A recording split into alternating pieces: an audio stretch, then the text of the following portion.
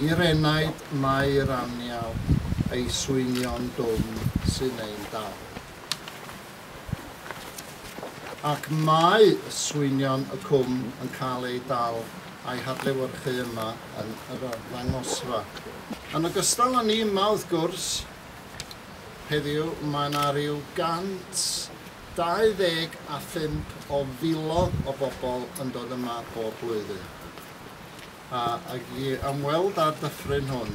Pobl o bob oedran, a, rhan helaeth honyn nhw yn bobl uh, sydd yn dod ac yn Wrach ddim yn mynd i fyny bod y tywydd ddim yn ffafriol iddyn nhw fynd i fyny i'r cwm ac uh, hefyd mae yna rai sydd yn mynd i fyny i'r cwm ac yn gweld un o'r amphithiatrau mwyaf naturiol y byd. Dyma un o'r llefydd gorau i weld sut y ffurfio rhewlifoedd ein tirwedd ac un o'r mannau gorau i ddod o hyd i blini'r wyddfa. That way. A wedyn dwi'n mynd i uh, dechrau y sky by thanking you very much for the invitation to come here. It really was very nice, uh, very, very pleasant. And uh, I thought, yes, I will do that, I'll come. And then I was, saw the program on the computer and it said past, present and future. Past, Warren Martin. One of yesterday's men. Ond uh, wedi deud hynna, diolch yn fawr am y croeso. A cyfla i ddod yma a deud chydig o eiriau. Newedig i ddeud chydig o eiriau am Ifan Robaich, Ifan Gelli. Falch iawn i weld Peter ac Eon yma. A Eon, a Peter a'i dad, y pobl y mynydd o ddifres da chi'n nabod nhw. Ac um, y fraint o gweithio hefo i. Oedd y gwaith o edrych ar pwysigwyr yr yri fel uh, saf safle o ddiddorol, ddiddordeb wyddonol wedi cael ei wneud cyn y rhyfel a trwy'r rhyfel. A mae yna enwedd da ni wedi anghofio chi. Mae yna bobl, diolch beth, mae pobl yn cofio Ifan Gelli ac Ifan Robaich, ond mae nhw teulu wedi anghofio Dr Elvin Hughes a Dr Alun Roberts.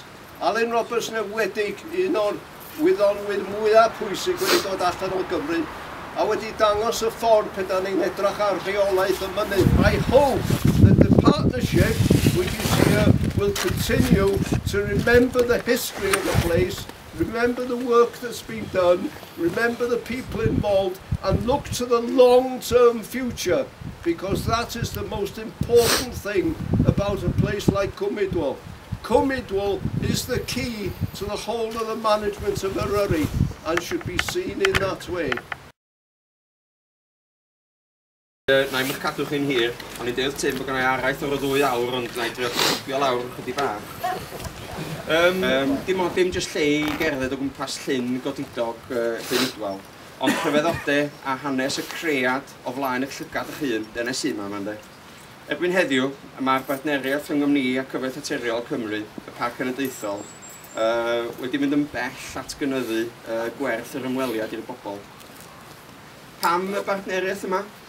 Wel, yn syml iawn, mae, uh, dwi'n meddwl bod cryfder perchnogaeth gyda arf dynodiad cenedlaethol a wedyn y brand rhyngwladol o barc cenedlaethol fel yn yr yri uh, yn rhoi'r cyfle gorau i sicrhau cadwraeth ar y lefel ucha tra'n rhannu'r gwerth efo'r uh, cyhoedd i wynhau a cynnig i gyfle addysg. Mae yna gymaint o bobl sydd wedi mwynhau uh, y lle dros y 30 mlynedd dwytha yma. A mae'r cyfle i chi wan uh, i ddod atyn ni hefo'ch uh, hefo um, teimladau efo'ch atgofion, um, mae gyto wedi prysuroedd wrth fi um, bod posib trydar, ond sgynna i ddim syniad, uh, so felly ddech chi fatha fi sydd yn bach o ddinos o uh, ddim yn trydar. Cwbl sydd angen neud ydy dod yma. Um, er bod uh, gyta Dewi wedi fynd â canoedd a filoedd o blant i fyny fan Um, maen nhw yma hefyd yn ystod dydd, a weithiau pan maen nhw'r adroddiad neu'r e-bost pwysig sydd angen ei wneud, mae'n siŵr bod y, y bobl yn cnocio ar y drws, bob yn un a hyn eisiau rhoi wybodaeth am rhyw lwybr, felly'n boen, ond mae'r adnodd yna mor bwysig hefyd. Felly dewch yma uh, ar bob cyfri. Um, felly, uh, mae yna ddigon i ddathlu uh, am uh, wrth edrych ymlaen hefyd, a uh, gobeithio uh, byddwch chi gyd yn rhan o hynny.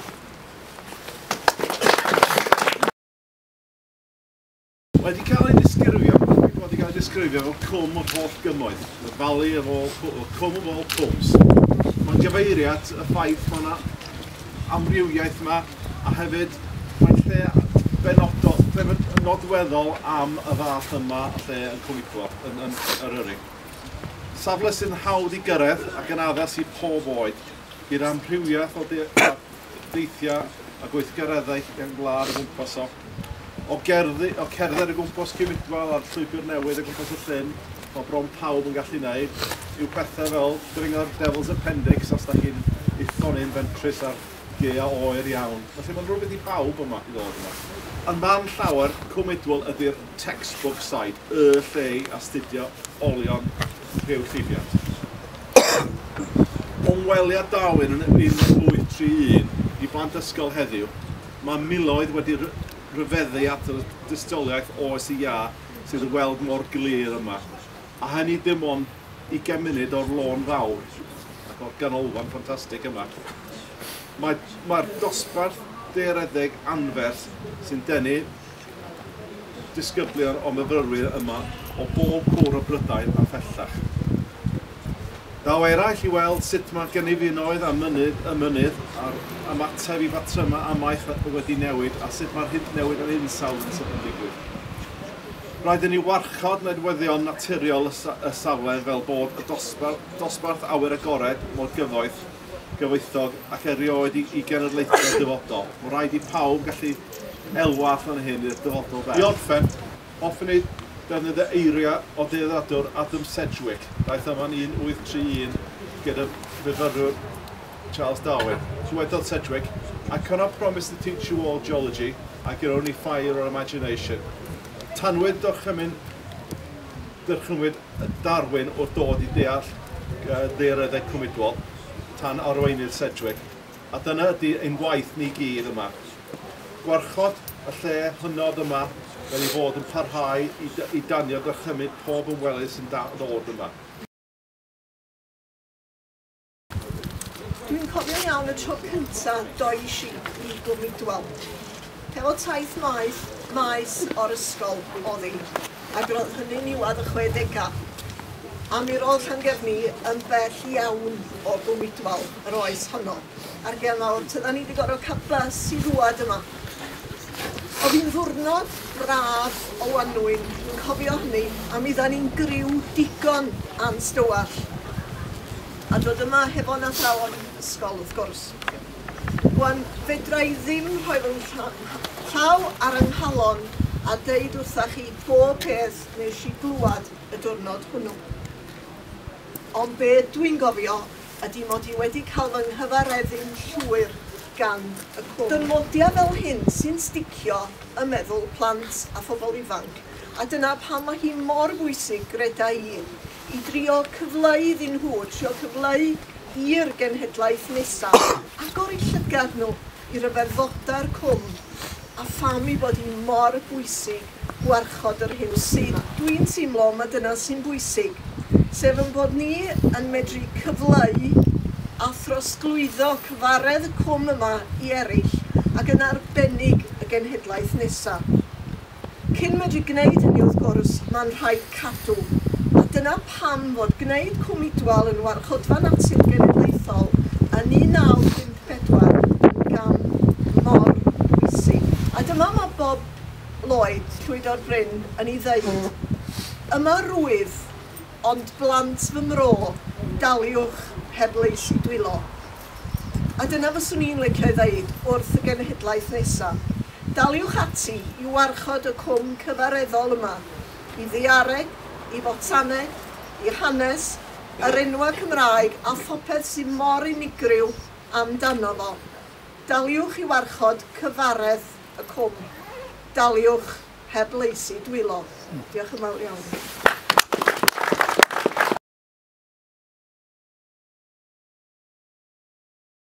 Wan ta, yw hen ffôn, hen ffasiwn sydd gyda i ar hyn o bryd. Ac uh, y sŵn ydy pan fi'n ar rywun yn ffonio, ydy ceiliog yn canu ac wedyn ieir yn clochdar. Ac felly, os ydych chi'n trydar neu'n defnyddio Facebook, cofiwch ddefnyddio'r hasnod cwmidwal 60 er mwyn i ni geisio codwy am ei gwyddiaeth â'r pen blwydd arbennig yma a chofiwch ledeunau'r hyn a soniodd tystan amdano nhw, sef y gwaith cofnodi pwysig fydd yn digwydd yn y cwm yn ystod y flwyddyn sydd i ddod. Ac uh, yn ola, os ydy'r sgidio a'r dillad addas gynnwch chi, mi fydd gyto yn cychwyn i fyny y cwm am rhyw 10 munud gyto, yeah. ond yn gyntaf uh, dwi'n siŵr y byddwch chi gyd yn gwerthorogi cael panad ac yn bwysicach na hynny, um, mae yna gacan ac felly sy'n ni'n gwahodd y siaradwyr i dorri'r gacan ac uh, pan welwch chi'r gacan, wel, o'n i'n dweud wrth chi'n os yn harad yn gynharach, mae'n biti ofnadwy ni i thorri hi achos mae yna waith pendigedig yn mynd ymlaen, ond dyna fo, mae hwn yn ddwrnod arbennig iawn. A gai ddiolch i'ch gyd, i'ch chi gyd am ddod yma heddiw. Diolch yn fawr i chi. Thank you.